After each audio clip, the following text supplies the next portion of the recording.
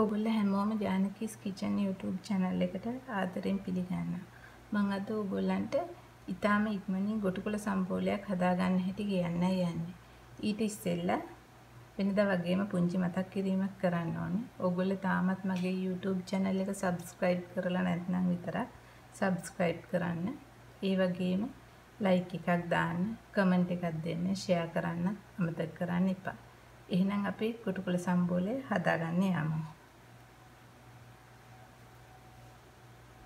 ඒ සඳහා මම ගාගත්ත පොල් අරන් තියෙනවා.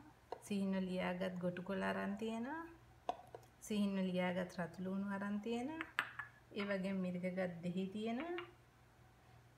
ඒ වගේම මම අරන් තියෙනවා උඹලකඩ තේ හැඳි භාගයක්. ඒ වගේම මම රසයේ තරමට ලුණු අරගෙන තියෙනවා. මම ඉස්සෙල්ලාම කරන්නේ ගාගත්ත පොල් එකට රතු ලුණු ටික එකතු කර ගන්නවා මේ විදිහට.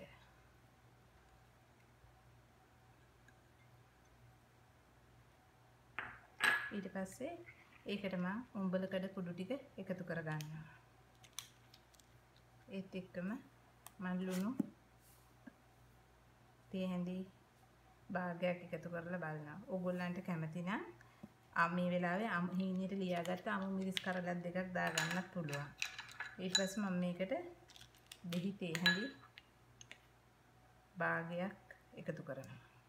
ඊට පස්සේ මේ ටික හොඳට අතින් පොඩි කර ගන්නවා මේ විදිහට.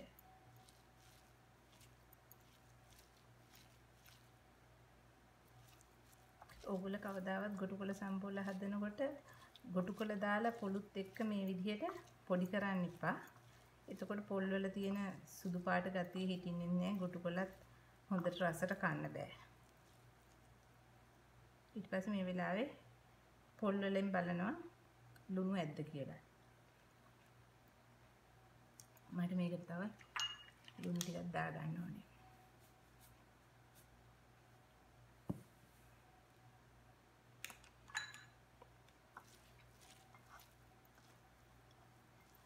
ඊළඟට පරිස්සමට ගොටුකොළ ටික මේ වගේ දාලා පරේස්සමින්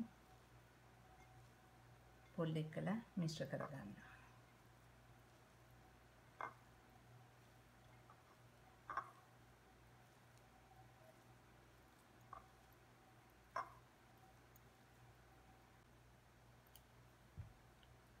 මේ තියෙන්නේ අපේ ගොටුකොළ සම්බෝලය.